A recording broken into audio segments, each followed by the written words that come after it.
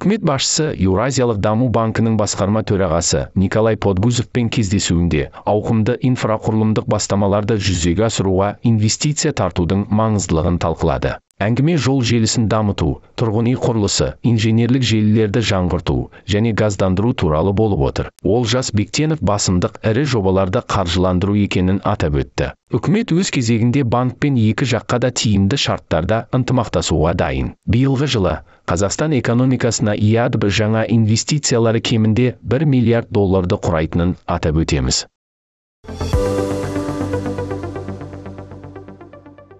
Министрлер кабинетінің төрағасы қырғыз республикасы президенті әкімшілігінің басшысы ақылбек жапаров опенай компаниясының вице-президенті аркадармен кездесті.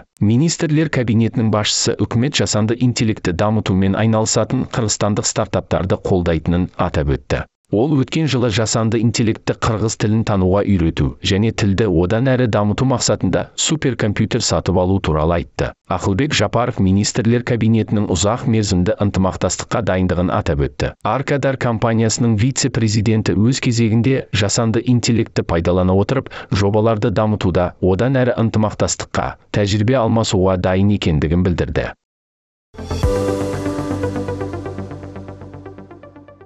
Бау бақша серіктестіктерінің тұрғындары үйлерін әлеуметтік газдандыру бағдарламасы бойынша қосуды асыға күтеді. Бұл туралы владимир путин федералды жиналысқа жолдау кезінде айтты. Енді президенттің тапсырмасынан кейін желілер газдандырылған елді мекендердің ішінде орналасқан бау бақша серіктестіктеріндегі үй мен учаскелердің шекарасына дейін салынатын болады. 2022 жылдың қарашасында үкімет әлеуметтік газдандыру бағдарламасын мерзімсіз деп жариялады. Оның арқасында көгілдір отын миллион жүз мың учаске тегін жеткізілді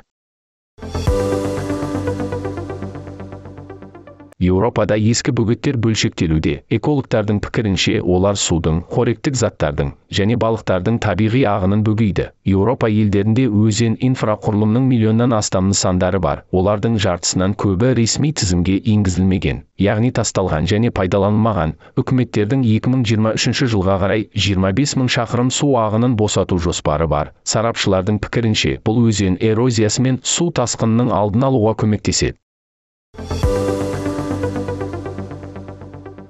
Биткоин бағасы 85 пайызға төмендеді. Қазір криптовалюта шамамен 9 мың доллар тұрады. Виртуалды валютаның күрт әлсіреуі 19 наурызға қараған түні болды. Сарапшылар құлдырауды сауда алгоритмінің бұзылуымен түсіндіреді. Осыған ұқсас жағдай үш жыл бұрын американдық биржада болған. Содан кейін криптовалюта 87 пайызға арзандады.